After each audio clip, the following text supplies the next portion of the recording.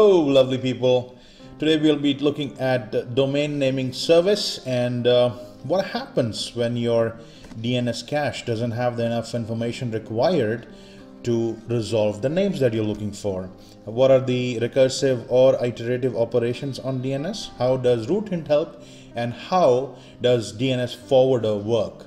We'll look at all of these concepts using the whiteboard and uh, I'll draw some diagrams and hopefully uh, it'll be easier to understand. Let's go to the whiteboard. What is a recursive query? It is a definitive query that demands name resolution or the answer. It cannot be found and it happens between client and local DNS server. What is an iterative query? It is a query between local DNS and other DNS servers. It does not demand name resolution, which means other servers can either send name resolution or reference.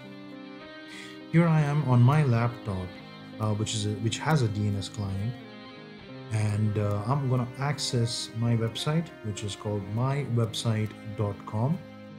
Hence, uh, the request will go from my laptop to my local DNS server, which is going to look within its DNS cache. If it finds the information uh, about the IP address, and it is going to send it back to my laptop, and I'm going to access it. Uh, this is recursive query. At times, uh, you have firewall implementations which is when you don't want to expose your DNS server out on internet. In that situation, uh, you are going to configure your DNS server as a forwarder. So any request coming to your DNS server is forwarded to ISP's uh, DNS server. Uh, and ISP's uh, DNS server is going to take care of your name resolution queries. And uh, what it does is it'll look up in the cache. If it doesn't find, it'll look for the root hints, and then using the root hint, it will send the query to the root DNS server. At the root DNS server, it will look up for the top level domains such as .com, .edu, .gov, .in, .us. So it, it knows about the .com website, produces that IP address, and at this point, it is not going to give a, a name resolution, but it's going to give a referral response which means it's referring to another DNS server.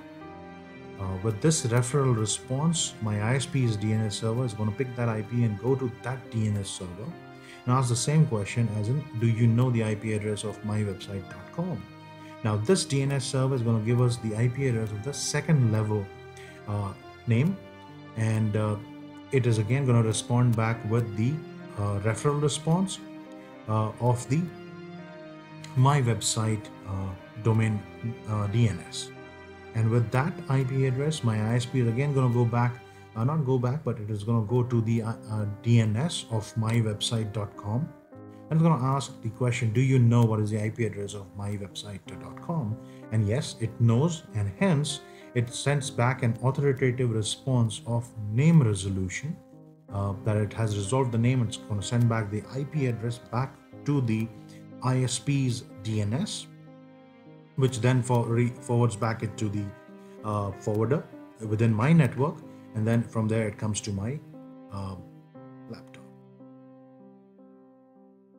Hope it was easy to understand and uh, it might help you. Keep watching free stuff. My name is Ravi Varma.